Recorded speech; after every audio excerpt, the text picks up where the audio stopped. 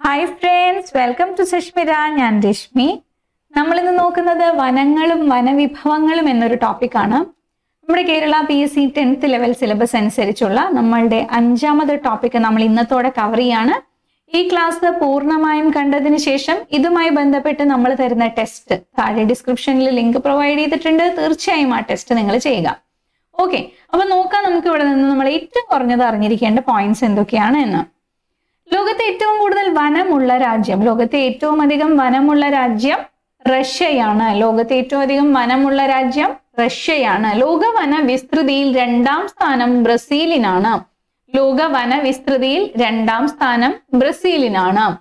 ലോകത്ത് വനവിസ്തൃതിയിലുള്ള ഇന്ത്യയുടെ സ്ഥാനം എത്ര? ഇന്ത്യയ്ക്ക് പത്താം സ്ഥാനമാണുള്ളത്. ലോകത്ത് വനവിസ്തൃതിയിലുള്ള ഇന്ത്യയുടെ സ്ഥാനം പത്താം സ്ഥാനമാണ്. പാരിസ്ഥിതിക സന്തുലിതാവസ്ഥ നിലനിർത്താൻ ഒരു രാജ്യത്തിന് വേണ്ട വനങ്ങൾ എന്ന് പറഞ്ഞാൽ മുപ്പത്തി മൂന്ന് ശതമാനം വനമുണ്ടായിരിക്കണം. ഓരോ രാജ്യത്തിനും തേർട്ടി ത്രീ പെർസെന്റേജ് എങ്കിലും വനമുണ്ടായിരിക്കണം.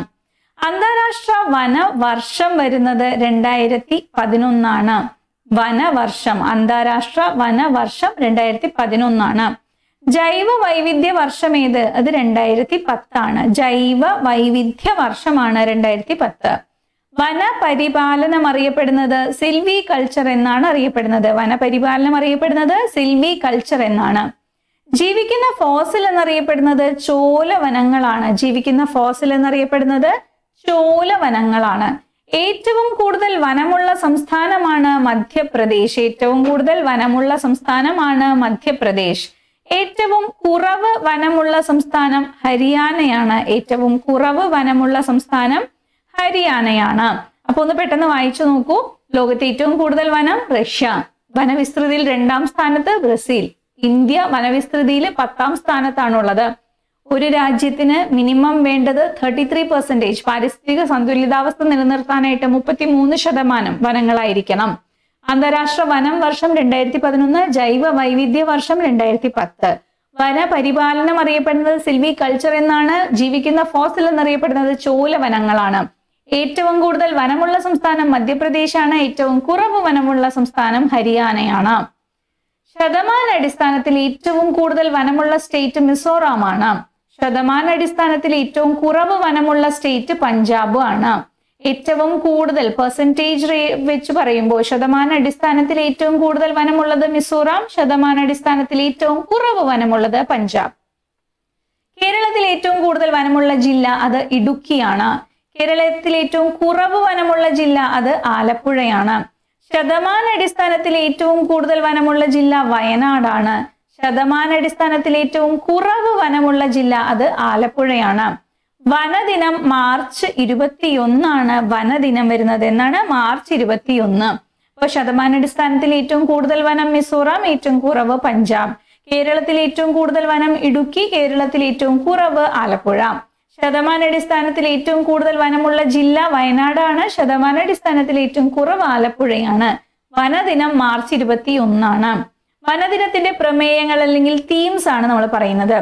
രണ്ടായിരത്തി പത്തൊൻപതിൽ അതിന്റെ തീം ഫോറസ്റ്റ് ആൻഡ് എഡ്യൂക്കേഷൻ ആയിരുന്നു. വനവും വിദ്യാഭ്യാസവും എന്നായിരുന്നു രണ്ടായിരത്തി പത്തൊൻപതിലെ തീം വരുന്നത്.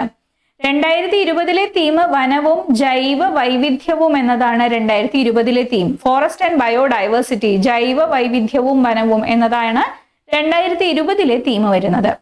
കേരളത്തിലെ ദേശീയോദ്യാനങ്ങളാണ് അടുത്തതായി നമ്മൾ നോക്കുന്നത്.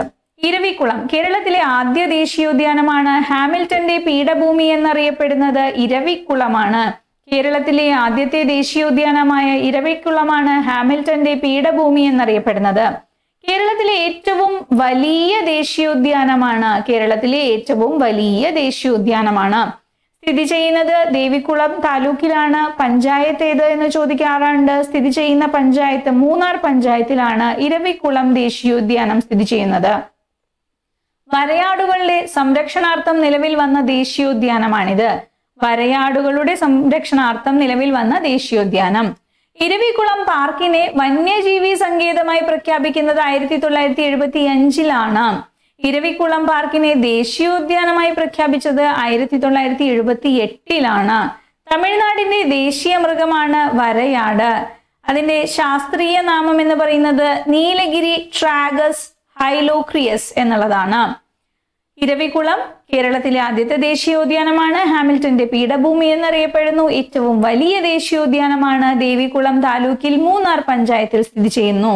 വരയാടുകളുടെ സംരക്ഷണാർത്ഥം നിലവിൽ വന്ന ദേശീയോദ്യാനമാണ് തമിഴ്നാടിന്റെ ദേശീയ മൃഗമാണ് വരയാട്. അതിന്റെ ശാസ്ത്രീയ നാമം എന്ന് പറയുന്നത് നീലഗിരി ട്രാഗസ് ഹൈലോക്രിയസ് എന്നാണ്. ഇരവികുളം പാർക്ക് വന്യജീവി സങ്കേതമായി മാറിയത് ആയിരത്തി തൊള്ളായിരത്തി എഴുപത്തി അഞ്ചിലും ദേശീയോദ്യാനമായി മാറിയത് ആയിരത്തി തൊള്ളായിരത്തി എഴുപത്തി എട്ടിലുമാണ് ഇത് വരയാടിന്റെ ചിത്രമാണ് ഈ കൊടുത്തിരിക്കുന്നത്. സൈലന്റ് വാലി ആണ് എടുത്തത്. കേരളത്തിലെ രണ്ടാമത്തെ ദേശീയോദ്യാനമാണ് സൈലന്റ് വാലി. യുനെസ്കോ ലോക പൈതൃക പട്ടികയിൽ ഉൾപ്പെടുത്തിയ ദേശീയോദ്യാനമാണ് ഇത് പി ആണ് യുനെസ്കോയുടെ ദേശീയ പൈതൃക പട്ടികയിൽ ഉൾപ്പെടുത്തിയ ദേശീയോദ്യാനം.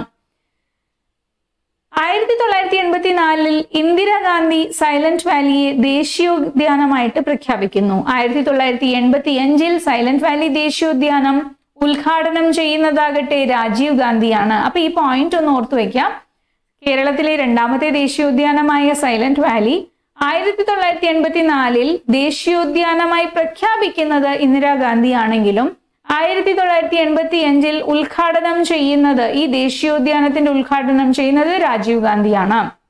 യുനെസ്കോ ലോക പൈതൃക പട്ടികയിൽ ഉൾപ്പെടുത്തിയ ദേശീയോദ്യാനമാണ്. മണ്ണാർക്കാട് താലൂക്കിലാണ് സ്ഥിതി ചെയ്യുന്നത്. മണ്ണാർക്കാട് താലൂക്കിലാണ് സ്ഥിതി ചെയ്യുന്നത്. കേരളത്തിലെ ഏറ്റവും വലിയ മഴക്കാടാണ് കേരളത്തിലെ ഒരേ ഒരു കന്യാവനമാണ്. കേരളത്തിലെ ഏറ്റവും വലിയ മഴക്കാടും ഒരേ ഒരു കന്യാവനവുമാണ്. വംശനാശം സംഭവിക്കുന്ന സിംഹവാലൻ കുരങ്ങുകൾ കാണപ്പെടുന്നത്. വംശനാശം സംഭവിക്കുന്ന സിംഹവാലൻ കുരങ്ങുകൾ കാണുന്നത് സൈലന്റ് വാലിയിലാണ്. സൈലന്റ് വാലിയിലൂടെ ഒഴുകുന്ന നദി ഒഴുകുന്ന നദി എന്ന് ചോദിച്ചാൽ അത് കുന്തിപ്പുഴയാണ് എങ്കിൽ അവിടെ കൺഫ്യൂസിംഗ് ആയ ഒരു ഫാക്റ്റ് ഉണ്ട്. എന്താണ്? സൈലന്റ് വാലിയിൽ നിന്നും ഉത്ഭവിക്കുന്ന നദി എന്ന് ചോദിച്ചിട്ടുണ്ട്. അപ്പോൾ ഉത്തരം തൂതപ്പുഴയായിരുന്നു. അപ്പോ തെറ്റിപ്പോകരുത്. സൈലന്റ് വാലിയിലൂടെ ഒഴുകുന്ന നദി കുന്തിപ്പുഴ. സൈലന്റ് വാലിയിൽ നിന്ന് ഉത്ഭവിക്കുന്ന നദി അത് തൂതപ്പുഴയാണ്. അടുത്തത് ആനമുടിച്ചോല. നിലവിൽ വരുന്നത് രണ്ടായിരത്തി മൂന്നിലാണ് നിലവിൽ വരുന്ന താലൂക്ക്. ഉടുമ്പൻചോല താലൂക്കിലാണ്. ജുറാസിക് കാലഘട്ടത്തിൽ ഉണ്ടായിരുന്ന ട്രീ ഫേൺ പന്നൽ ചെടി കണ്ടുവരുന്ന കേരളത്തിലെ ദേശീയോദ്യാനം. അത് ആനമുടിച്ചോല. നിലവിൽ വരുന്നത് രണ്ടായിരത്തി മൂന്നിൽ ഉടുമ്പൻ ചോല താലൂക്കിൽ. ജുറാസിക് കാലഘട്ടത്തിൽ ഉണ്ടായിരുന്ന ട്രീ ഫേൺ പന്നൽ ചെടി കണ്ടുവരുന്ന കേരളത്തിലെ ദേശീയോദ്യാനമാണിത് അടുത്തത് മതികെട്ടാൻ ചോലയാണ്. നിലവിൽ വരുന്നത് രണ്ടായിരത്തി മൂന്നിൽ തന്നെയാണ്. താലൂക്ക് ഉടുമ്പൻ ചോല താലൂക്ക് തന്നെയാണ്. ദ്രാവിഡോ ജക്കോ എന്ന ജനുസിൽപ്പെട്ട പല്ലിയെ കണ്ടുവരുന്ന പ്രദേശമാണ് ആനമല. ദ്രാവിഡോ ജക്കോ എന്ന ജനുസിൽപ്പെട്ട പല്ലിയെ കണ്ടുവരുന്ന പ്രദേശമാണ് ആനമല്ല. പാമ്പാടും ചോലയാണ് അടുത്തത്. അതും നിലവിൽ വരുന്നത് രണ്ടായിരത്തി മൂന്നിൽ തന്നെയാണ്. താലൂക്ക് ഉടുമ്പൻചോല താലൂക്ക് തന്നെയാണ്. കേരളത്തിലെ ഏറ്റവും ചെറിയ ദേശീയോദ്യാനം കേരളത്തിലെ ഏറ്റവും ചെറിയ ദേശീയോദ്യാനമാണ് പാമ്പാടും ചോല. പാനമുടി ചോല അതുപോലെ മതികെട്ടാൻ ചോല പാമ്പാടും ചോല. മൂന്നും നിലവിൽ വരുന്നത് രണ്ടായിരത്തി മൂന്നിൽ ഉടുമ്പൻ ചോല താലൂക്കിലാണ് മൂന്നും സ്ഥിതി ചെയ്യുന്നത്. ട്രീ ഫേൺ പന്നൽ ചെടി കാണുന്നത് ആനമുടി ചോലയിലാണ്. ദ്രാവിഡോ ജോക്കോ എന്ന ജനസിൽപ്പെട്ട പല്ലിയെ കാണുന്നത് ആനമലയിൽ മതികെട്ടാൻ ചോലയിലാണ്. കേരളത്തിലെ ഏറ്റവും ചെറിയ ദേശീയോദ്യാനം പാമ്പാടും ചോലയാണ്. വനവിഭവങ്ങളാണ് എടുത്തത്. പരിസ്ഥിതിക്ക് അനുയോജ്യമായ ഒരു പ്രദേശത്ത് ആവിർഭവിച്ച സസ്യജാലങ്ങളാണ് ആ പ്രദേശത്തെ നൈസർഗിക സസ്യജാലങ്ങൾ എന്നറിയപ്പെടുന്നത്.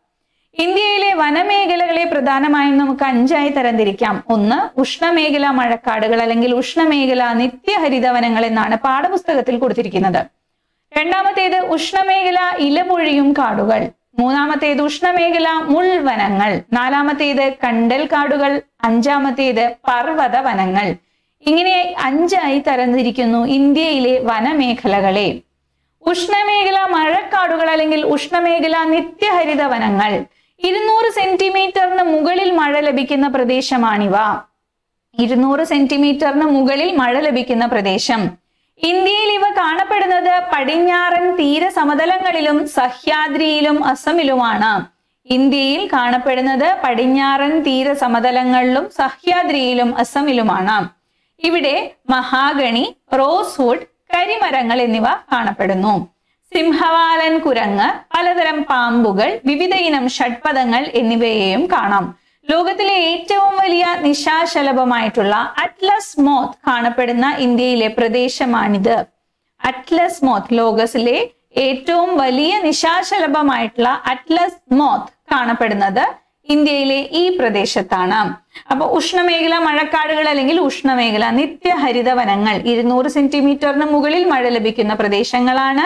മഹാഗണി റോസ് ഫുഡ് കരിമരങ്ങൾ എന്നിവയാണ് കാണപ്പെടുന്നത്. സിംഹവാലൻ കുരങ്ങ് പലതരം പാമ്പുകൾ ഷഡ്പദങ്ങൾ എന്നിവയും കാണാം നമുക്ക്. അടുത്തത് ഇത് അറ്റ്ലസ് മോത്തിന്റെ ചിത്രമാണ് കൊടുത്തിരിക്കുന്നത്. അറ്റ്ലസ് മോത്ത് എന്ന നിശാശലഭത്തിന്റെ ചിത്രമാണ് ഈ കൊടുത്തിരിക്കുന്നത്. ഉഷ്ണമേഖല ഇലപൊഴിയും കാടുകളാണ്. എഴുപത് മുതൽ ഇരുന്നൂറ് സെന്റിമീറ്ററിനിടയിൽ എഴുപത് മുതൽ ഇരുന്നൂറ് സെന്റിമീറ്ററിനിടയിൽ മഴ ലഭിക്കുന്ന പ്രദേശമാണ്. തേക്ക് സാൽ അരയാൽ വേപ്പ് മുള സെമുൽ തുടങ്ങിയ മരങ്ങൾ കാണപ്പെടുന്നു. മാൻ മുയൽ വേഴാമ്പൽ കാട്ടുപോത്ത് ആന കടുവ പുലി എന്നിവ കാണപ്പെടുന്നു. തേക്കിന്റെയും ഈട്ടിയുടെയും ഈറ്റില്ലം എന്നറിയപ്പെടുന്ന വനങ്ങളാണ് ഉഷ്ണമേഖല ഇല പൊഴിയും കാടുകൾ. എന്താണ്? തേക്കിന്റെയും ഈട്ടിയുടെയും ഈറ്റില്ലം എന്നറിയപ്പെടുന്ന വനങ്ങൾ ഉഷ്ണമേഖല ഇല പൊഴിയും കാടുകൾ. അടുത്തത് ഉഷ്ണമേഖല മുൾവനങ്ങളാണ്. അറുപത് സെന്റിമീറ്ററിന് താഴെ മഴ ലഭിക്കുന്ന പ്രദേശമാണിത്. ഈന്തപ്പന ബന്ദൂരി അക്കേഷ്യ ഖയർ ബബൂൽ കിക്കർ പരുക്കൻ പുല്ലുകൾ എന്നിവ കാണപ്പെടുന്നു. ഒട്ടകം കഴുകൻ പരുന്ത് പലതരം ഉരകങ്ങളും കാണാം നമുക്ക് ഉഷ്ണമേഖല മുൾവനങ്ങളിൽ. അവിടെ ശ്രദ്ധിക്കേണ്ടത് അറുപത് സെന്റിമീറ്ററിന് താഴെ മഴ ലഭിക്കുന്ന പ്രദേശങ്ങളാണിത്. അടുത്തത് കണ്ടൽ കാടുകളാണ്. വളരെ പ്രധാനപ്പെട്ടതാണ്. ഇരുന്നൂറ് സെന്റിമീറ്ററിന് മുകളിൽ മഴ ലഭിക്കുന്ന പ്രദേശം. ഇരുന്നൂറ് സെന്റിമീറ്ററിന് മുകളിൽ മഴ ലഭിക്കുന്ന പ്രദേശം. സുന്ദരി അഗർ ബെൻഡി എന്നിവ പലതരം കണ്ടൽ കാടുകളാണ്. ബംഗാൾ കടുവ മുതല നിരവധി മത്സ്യങ്ങൾ എന്നിവയെ കാണാം. ലോകത്തെ ഏറ്റവും കൂടുതൽ കണ്ടൽ കാടുള്ള വൻകര ഏത് എന്ന് ചോദിച്ചു കഴിഞ്ഞാൽ അത് ഏഷ്യയാണ്. ലോകത്തെ ഏറ്റവും കുറച്ച് കണ്ടൽ കാടുള്ള വൻകര അത് ആഫ്രിക്കയാണ്. കണ്ടൽ കാടുകളുടെ വിസ്തൃതിയിൽ ലോകത്ത് ഒന്നാം സ്ഥാനത്തുള്ള രാജ്യം ഇന്തോനേഷ്യയാണ്. കണ്ടൽ കാടുകളുടെ വിസ്തൃതിയിൽ ലോകത്ത് ഒന്നാം സ്ഥാനത്തുള്ള രാജ്യം ഇന്തോനേഷ്യയാണ്. കണ്ടൽ കാടുകളുടെ ഏറ്റവും കൂടുതൽ കണ്ടൽ കാടുകൾ ഏറ്റവും കൂടുതലായി കാണാൻ പറ്റുന്ന സംസ്ഥാനം അത് പശ്ചിമ ബംഗാളാണ് കണ്ടൽ കാടുകൾ ഏറ്റവും കുറവായി കാണുന്ന സംസ്ഥാനം അത് കേരളമാണ്. കണ്ടൽ കാടുകൾ ഏറ്റവും കൂടുതലുള്ളത് വെസ്റ്റ് ബംഗാളിലാണ് എങ്കിൽ കണ്ടൽ കാടുകൾ ഏറ്റവും കുറവുള്ള സ്റ്റേറ്റ് കേരളമാണ്. കണ്ടൽ കാടുകളിൽ മാൻഗ്രോവ്സിന്റെ ഒരു ചിത്രമാണ് കൊടുത്തിരിക്കുന്നത്. ദക്ഷിണേന്ത്യയിൽ ഏറ്റവും കൂടുതൽ കണ്ടൽ കാടുകൾ ഉള്ള സ്റ്റേറ്റ് ഏത്? അത് ആന്ധ്രാപ്രദേശാണ്. സൗത്ത് ഇന്ത്യയിൽ ഏറ്റവും കൂടുതൽ മാൻഗ്രോവ്സ് ഉള്ളത് ആന്ധ്രാപ്രദേശിലാണ്. കേന്ദ്രഭരണ പ്രദേശങ്ങളിൽ ഏറ്റവും കൂടുതൽ മാൻഗ്രോവ്സ് ഉള്ളത് ആൻഡമാൻ നിക്കോബാറിലാണ്. യൂണിയൻ ടെറിട്ടറീസിൽ ഏറ്റവും കൂടുതൽ കണ്ടൽ കാടുള്ളത് ആൻഡമാൻ നിക്കോബാറിലാണ്. കേന്ദ്രഭരണ പ്രദേശങ്ങളിൽ ഏറ്റവും കുറവ് കണ്ടൽ കാടുകൾ ഉള്ളത് പുതുച്ചേരിയിൽ ആണ്. കേന്ദ്രഭരണ പ്രദേശങ്ങളിൽ ഏറ്റവും കുറവ് കണ്ടൽ കാടുകൾ ഉള്ളത് പുതുച്ചേരിയിലാണ്.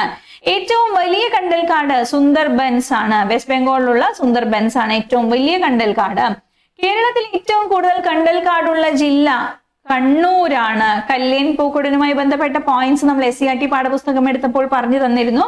കേരളത്തിൽ ഏറ്റവും കൂടുതൽ കണ്ടൽ കാടുകളുള്ള ജില്ല കണ്ണൂരാണ്.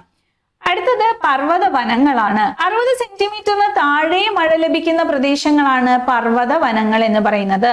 Oak chestnut pine juniper birch ദേവദാരു എന്നിവ കാണപ്പെടുന്നു. കസ്തൂരിമാൻ ഹിമപ്പുലി വരയാട് എന്നിവയെ കാണാം. വന്യജീവി സമ്പത്ത്. വന്യജീവി സംരക്ഷണ നിയമം നിലവിൽ വരുന്നത് ആയിരത്തി തൊള്ളായിരത്തി എഴുപത്തി രണ്ടിലാണ് ഇന്ത്യൻ വന നിയമം നിലവിൽ വരുന്നത് ആയിരത്തി തൊള്ളായിരത്തി ഇരുപത്തി ഏഴിലാണ് അങ്ങോട്ടും ഇങ്ങോട്ടും തെറ്റരുത്. ഇന്ത്യൻ വന നിയമം നിലവിൽ വരുന്നത് ആയിരത്തി തൊള്ളായിരത്തി ഇരുപത്തി ഏഴിൽ വന്യജീവി സംരക്ഷണ നിയമം നിലവിൽ വരുന്നത് ആയിരത്തി തൊള്ളായിരത്തി എഴുപത്തി രണ്ടിൽ വനസംരക്ഷണ നിയമം നിലവിൽ വരുന്നത് ആയിരത്തി തൊള്ളായിരത്തി എൺപതിലാണ് കേന്ദ്ര വനം പരിസ്ഥിതി മന്ത്രാലയം നിലവിൽ വരുന്നത് ആയിരത്തി തൊള്ളായിരത്തി എൺപത്തി അഞ്ചിലാണ് കടുവയുടെ പോയിന്റ്സ് ആണ് അടുത്തതായി നോക്കുന്നത്. ഇന്ത്യയുടെ ദേശീയ മൃഗമാണ് കടുവ. കടുവയുമായി ബന്ധപ്പെട്ട് ഒത്തിരി ചോദ്യങ്ങൾ വന്നിട്ടുണ്ട്.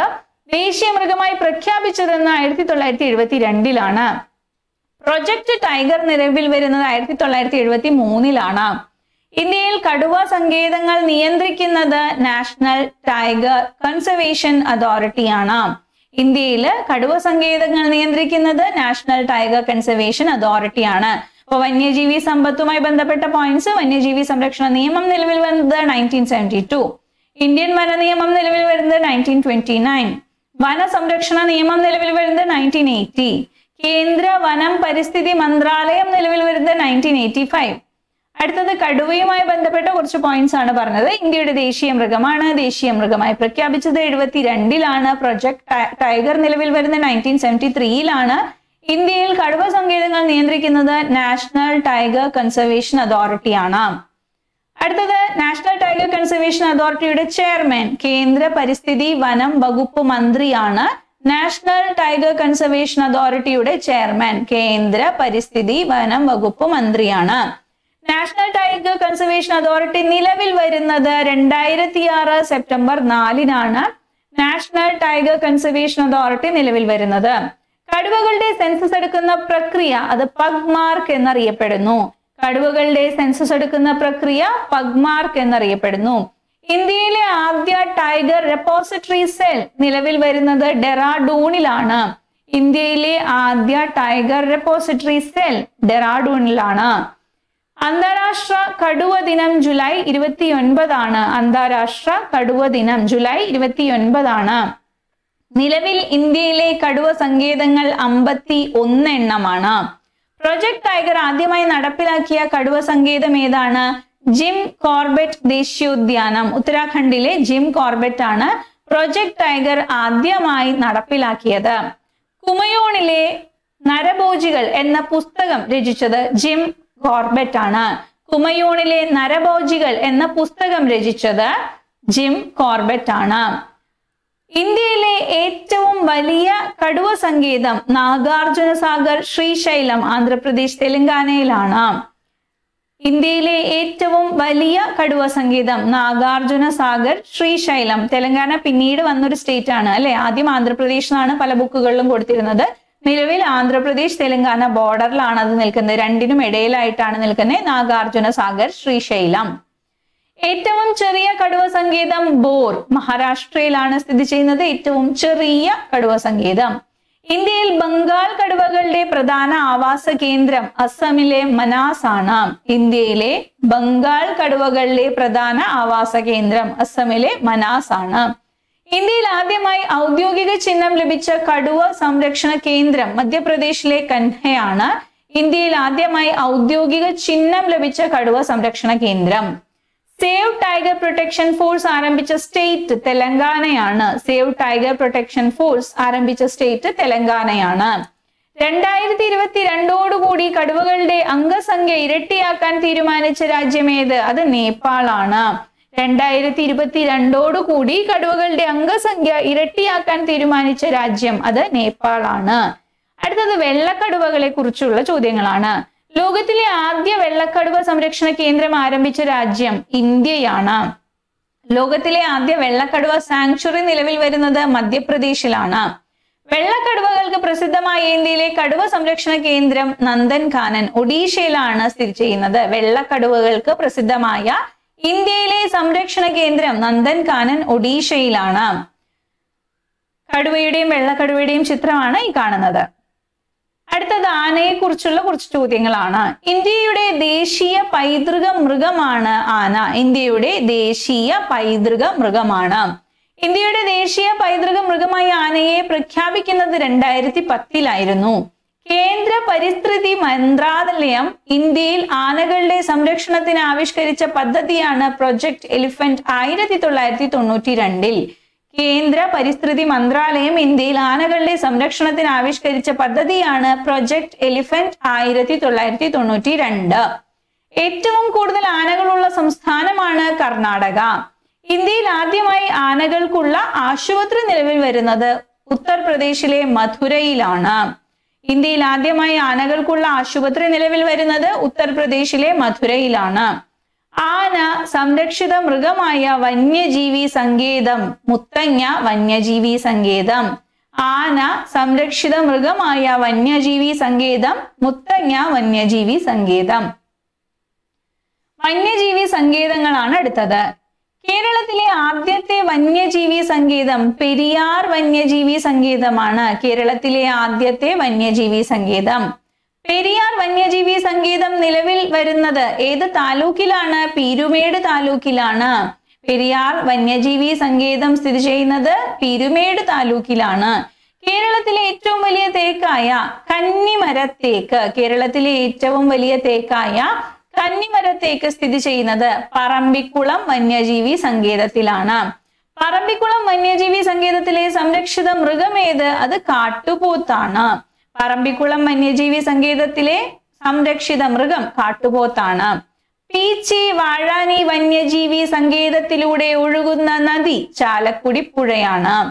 പീച്ചി വാഴാനി വന്യജീവി സങ്കേതത്തിലൂടെ ഒഴുകുന്ന നദി ചാലക്കുടി പുഴയാണ്. കേരളത്തിലെ ഏറ്റവും തെക്കേ അറ്റത്തുള്ള വന്യജീവി സങ്കേതം നെയ്യാറാണ്. കേരളത്തിലെ ഏക Simha safari park lion safari park Marakkunnam നെയ്യാറിലാണ്. കേരളത്തിലെ ഏക ലയൺ സഫാരി പാർക്ക് മരക്കുന്നം നെയ്യാറാണ്. പക്ഷി നിരീക്ഷകരുടെ പറുദീസ എന്നറിയപ്പെടുന്നത് തട്ടേക്കാട് പക്ഷി സംഗീതമാണ്. പക്ഷി നിരീക്ഷകരുടെ പറുദീസ എന്നറിയപ്പെടുന്നത് തട്ടേക്കാട് പക്ഷി സങ്കേതമാണ് ചിന്നാർ വന്യസങ്കേതത്തിലൂടെ ഒഴുകുന്ന നദി ഏതാണ്? പാമ്പാറാണ്. ചിന്നാർ വന്യസങ്കേതത്തിലൂടെ ഒഴുകുന്ന നദി ഏതാണ്? പാമ്പാറാണ്. കേരളത്തിലെ രണ്ടാം സൈലന്റ് വാലി എന്നറിയപ്പെടുന്നത് കേരളത്തിലെ രണ്ടാം സൈലന്റ് വാലി എന്നറിയപ്പെടുന്നത് ചെന്തരുണിയാണ്. ഒരു വൃക്ഷത്തിന്റെ പേരിൽ അറിയപ്പെടുന്ന വന്യജീവി സങ്കേതം ഒരു വൃക്ഷത്തിന്റെ പേരിൽ അറിയപ്പെടുന്ന വന്യജീവി സങ്കേതമാണ് ചെന്തരുണി. ഒരു വൃക്ഷത്തിന്റെ പേരിൽ അറിയപ്പെടുന്ന വന്യജീവി സങ്കേതം ചെന്തുരുണി. ഏറ്റവും ചെറിയ പക്ഷി സംരക്ഷണ കേന്ദ്രം. ഏറ്റവും ചെറിയ പക്ഷി സംരക്ഷണ കേന്ദ്രമാണ് മംഗളവനം. കൊച്ചിയുടെ ഹരിത ശ്വാസകോശം എന്നറിയപ്പെടുന്നത് കൊച്ചിയുടെ ഹരിത ശ്വാസകോശം എന്നറിയപ്പെടുന്നത് മംഗളവനം. മയിലുകളുടെ സംരക്ഷണാർത്ഥം നിലവിൽ വന്ന പക്ഷി സങ്കേതം. മയിലുകളുടെ സംരക്ഷണാർത്ഥം നിലവിൽ വന്ന പക്ഷി സങ്കേതം ചൂലന്നൂർ പക്ഷി സംഗീതം. ഏറ്റവും കൂടുതൽ വന്യജീവി സംഗീതങ്ങളുള്ള ഇന്ത്യൻ സംസ്ഥാനം മഹാരാഷ്ട്ര. ഏറ്റവും കൂടുതൽ വന്യജീവി സംഗീതങ്ങളുള്ള ഇന്ത്യൻ സംസ്ഥാനം മഹാരാഷ്ട്ര. ഇന്ത്യയിലെ ആദ്യത്തെ ബയോളജിക്കൽ പാർക്കാണ് അഗസ്ത്യാർ വനം ഇന്ത്യയിലെ ആദ്യത്തെ ബയോളജിക്കൽ പാർക്കാണ് അഗസ്ത്യാർ വനം ലോകത്തിലെ ഒഴുകുന്ന ദേശീയോദ്യാനം ആണ് കെയ്ബുൾ ലംജാവോ. മണിപ്പൂരിലാണ് അത് സ്ഥിതി ചെയ്യുന്നത്. കെയ്ബുൾ ലംജാവോ ലോകത്തിലെ ഒഴുകുന്ന ദേശീയോദ്യാനം. സിംഹങ്ങളെ സംരക്ഷിക്കുന്ന ദേശീയോദ്യാനമാണ് ഗിർ. ഗുജറാത്തിലുള്ള ഗിർ ദേശീയോദ്യാനം. സിംഹങ്ങളെ സംരക്ഷിക്കുന്ന ദേശീയോദ്യാനമാണ് ഗുജറാത്തിലെ ഗിർ ദേശീയോദ്യാനം. ഒറ്റക്കൊമ്പൻ കാണ്ടാമൃഗം വൺ ഹോൺ റൈനോ സംരക്ഷണ കേന്ദ്രമായി വരുന്നത് അസമിലെ കാസിരംഗ. ഒറ്റക്കൊമ്പൻ കാണ്ടാമൃഗത്തിന്റെ സംരക്ഷണത്തിന് വേണ്ടിയിട്ട് നിലവിൽ വരുന്നത് കാസിരംഗ അസം. ഹിമപ്പുലി പ്രധാന സംരക്ഷിത മൃഗം ആയിട്ടുള്ള ദേശീയോദ്യാനം. ഹെമിസ് ആണ് ലഡാക്കിലെ ഹെമിസ് ദേശീയോദ്യാനം. ഹിമപ്പുലി പ്രധാന സംരക്ഷിത മൃഗമായിട്ടുള്ള ദേശീയോദ്യാനം ലഡാക്കിലെ ഹെമിസ് ദേശീയോദ്യാനം. ഇന്ത്യയിലെ ആദ്യ ബട്ടർഫ്ലൈ പാർക്ക് ബന്നേർഘട്ട കർണാടകയിലെ ബന്നേർഘട്ട ഇന്ത്യയിലെ ആദ്യ ബട്ടർഫ്ലൈ പാർക്ക് ബന്നേർഘട്ട കർണാടകയിലെ ബന്നേർഘട്ട. കാശ്മീരി മാനുകളെ സംരക്ഷിക്കുന്ന ദേശീയോദ്യാനമാണ് ദച്ചിഗാം ദച്ചിഗാം ദേശീയോദ്യാനം. കാശ്മീരി മാനുകളെ സംരക്ഷിക്കുന്ന ദേശീയോദ്യാനമാണ് ദച്ചിഗാം ദേശീയോദ്യാനം. അഗസ്ത്യൻകൂടം ട്രക്കിങ്ങിനെത്തിയ ആദ്യ വനിതയാണ് ധന്യ സനൽ. കേന്ദ്ര പ്രതിരോധ വക്താവായിരുന്നു അവർ ധന്യ സനൽ. ആ പേര് ഓർത്തു വെക്കാം. അഗസ്ത്യാർകൂടം ട്രക്കിനെത്തി ട്രക്കിങ്ങിനെത്തിയ ആദ്യ വനിതയാണ് ധന്യ സനൽ. കണ്ടൽ കാടുകളെ റിസർവ് വനമാക്കി മാറ്റിയ ഇന്ത്യയിലെ ആദ്യ സംസ്ഥാനമാണ് മഹാരാഷ്ട്ര. കണ്ടൽ കാടുകളെ റിസർവ് വനമാക്കി മാറ്റിയ ഇന്ത്യയിലെ ആദ്യ സംസ്ഥാനമാണ് മഹാരാഷ്ട്ര. ഇന്ത്യയിലെ ഏറ്റവും വലിയ വന്യജീവി സങ്കേതം ഗ്രേറ്റ് ഇന്ത്യൻ ബസ്റ്റാർഡ് ആണ് മഹാരാഷ്ട്രയിലെ. ഇന്ത്യയിലെ ഏറ്റവും വലിയ വന്യജീവി സങ്കേതം great Indian bustard Maharashtra. Crocodile breeding project നിലവിൽ വരുന്നത് ആയിരത്തി തൊള്ളായിരത്തി എഴുപത്തി അഞ്ചിലാണ് സ്നോ ലെപ്പേർഡ് പ്രൊജക്ട് നിലവിൽ വരുന്നത് രണ്ടായിരത്തി ഒൻപതിലാണ് പ്രൊജക്ട് റൈനോ നിലവിൽ വരുന്നതാകട്ടെ രണ്ടായിരത്തി പതിനൊന്നിലാണ് അപ്പൊ കോംപ്രിഹെൻസീവായി വനങ്ങളും വനവിഭവങ്ങളും എന്ന എൽ ഡി സിയുടെ പ്രിലിംസിന് വേണ്ടുന്ന സിലബസിൽ നിന്നുമുള്ള മാക്സിമം പോയിന്റ്സ് മുൻവർഷ ചോദ്യങ്ങളോടൊപ്പം നമ്മൾ ഇതിനോടകം കവർ ചെയ്തിട്ടുണ്ട്. ഈ ഒരു സെഷൻ നിങ്ങൾക്ക് ഇഷ്ടമായി എന്ന് വിചാരിക്കുന്നു. ഈ ചാനലിലൂടെ നമ്മൾ എൽ ഡി സി പ്രിലിംസിന് വേണ്ടുന്ന S C R T social science അതോടൊപ്പം തന്നെ സിലബസ് അനുസരിച്ചിട്ടുള്ള ക്ലാസ്സസും പ്രൊവൈഡ് ചെയ്യുന്നുണ്ട്. തീർച്ചയായും ചാനൽ സബ്സ്ക്രൈബ് ചെയ്യുക ഒപ്പം തന്നെ ബെൽ ഐക്കൺ ക്ലിക്ക് ചെയ്യുക. ക്ലാസ് ഇഷ്ടമായെങ്കിൽ ലൈക്ക് ചെയ്യാൻ മറക്കരുത്. വീണ്ടും അടുത്തൊരു സെഷനിൽ കാണാം. താങ്ക്